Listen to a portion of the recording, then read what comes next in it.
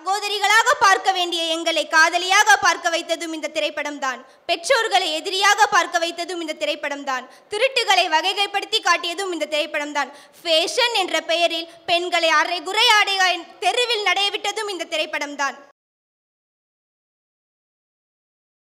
RA media நேயர்கள் அனைவருக்கும் அன்பார்ந்த வணக்கம்.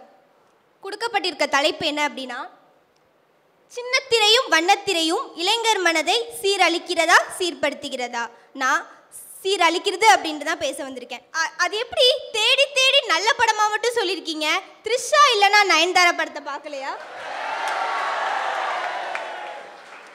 ஒவ்வொரு வருஷத்துக்கும் தமிழ் இண்டஸ்ட்ரியில முன்னூத்தி ஐம்பது படம் வருது. ஆனா இவங்க சொல்றது வெறும் இருபத்தஞ்சு படம் மட்டும்தான். மீதி இருக்கிற முன்னூத்தி இருபத்தைந்து படத்தை பற்றி நான் பேச வந்திருக்கேன். அங்கும் இங்கும் இருக்கும் நட்சத்திரங்களை பற்றி நீங்கள் பேசி போனீங்கள் க- பக்கத்தில் கண்ணை கூசும் நெருப்பு போல் நாங்கள் நாலு பேரும் பேச வந்திருக்கோம். ஐயா நீங்களும் உங்க மனைவியும் பீச்சுக்கு போறீங்க. போற இடத்துல உங்க மனைவி ஈரோட்டில் எங்கம்மா பீச் இருக்கு? பீச் எந்த ஊர்ல பீச் இருக்கோ அந்த பீச்சுக்கு போறீங்க. அப்ப உங்க மனைவி பீச் நல்லா இருக்கு அப்படின்னு சொல்றாங்க. சரி ரெண்டு பேரும் ரசிக்கிறீங்க பார்த்து. சுண்டல் வாங்கி சாப்பிட்றீங்க. அதே மனைவி அந்த பீச்சை வாங்கி தாங்கன்னு சொன்னா உங்களால வாங்கி தந்துட முடியுமா? பெருந்தலைவர்களுக்கு பீச்சில் இடம் கிடைக்க மாட்டேங்குது. இதை நான் எங்கே போய் கேட்குறது அதே மாதிரிதான் திரைப்படத்தை பார்க்கலாம் ரசிக்கலாம் பாராட்டுகளை தெரிவிக்கலாம். ஆனால் அது நம் வாழ்வில் சீர்படுத்துகிறது என்று சொன்னால் அது நிலையாகாது. பீஸான்னு ஒரு படம் வந்துச்சு. அது ஒரு பேய் படம் நல்ல ஹிட் ஆச்சு. அந்த படம் ரிலீஸ் ஆனதோ என்னவோ வார வெள்ளிக்கிழமையான மூணு பேய் படத்தை எதுக்குடா ரிலீஸ் பண்றீங்க. அதுதான் எனக்கு புரியவே இல்லை. நிறைய பேர் இருப்பாங்க போல தெரியும் அதனால தான் ரிலீஸ் பண்ணுறாங்க அதே இப்ப இருக்கிற திரைப்படத்தோட பெயர்லாம் பார்த்தீங்கன்னா எப்படி இருக்கு தெரியுமா? புலி சிங்கம் குட்டி புலி பிசாசு பிச்சைக்காரன் குட்டி பிசாசு. அந்த மாதிரி தான் இருக்கு. இதெல்லாம் திரைப்படம்.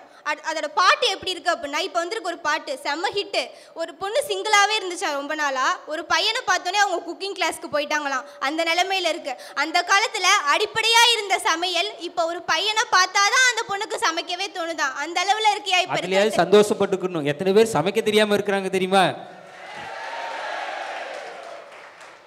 அப்படி இருக்கியா இப்ப இருக்கிற திரைப்படத்தோட நிலைமை? அப்புறம் வசனம்.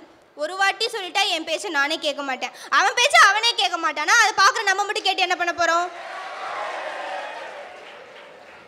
ஒரு படம் ரிலீஸ் ஆச்சு அப்படின்னா நம்ம இருக்க நம்மளோட இளைஞர்கள்லாம் முந்நூறு அடியில் கட் அவுட் வைக்கிறான். முந்நூறு அடியில் கட் அவுட் வச்சு அந்த கட் அவுட் மேலே ஏறி பால் அபிஷேகம் பண்ணுறான் கீழே விழுந்தா அவனுக்கு நாளைக்கு பால். அது அவனுக்கு தெரியாது.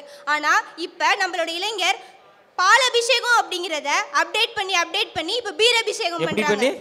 அப்டேட் பண்ணி அப்டேட் பண்ணி இப்போ பீர் அபிஷேகம் வந்து நிக்குது. வளர்ந்துட்டாங்க சகோதரிகளாக பார்க்க வேண்டிய எங்களை காதலியாக பார்க்க வைத்ததும் இந்த திரைப்படம் தான் பெற்றோர்களை எதிரியாக பார்க்க வைத்ததும் இந்த திரைப்படம் தான் திருட்டுகளை வகைகைப்படுத்தி காட்டியதும் இந்த திரைப்படம் தான் ஃபேஷன் என்ற பெயரில் பெண்களை அரை குறை ஆடையாய் தெருவில் நடையவிட்டதும் இந்த திரைப்படம் தான் ஒன்னே ஒன்று சொல்கிறேன் நாளை பிறக்க போகும் குழந்தைக்கு பால் இல்லை வாலிபனுக்கு வசதி இல்லை கல்வியில் தரம் இல்லை மருத்துவத்தில் திருப்தி இல்லை பூமியில் மழை இல்லை விவசாயிக்கு தண்ணீர் இல்லை.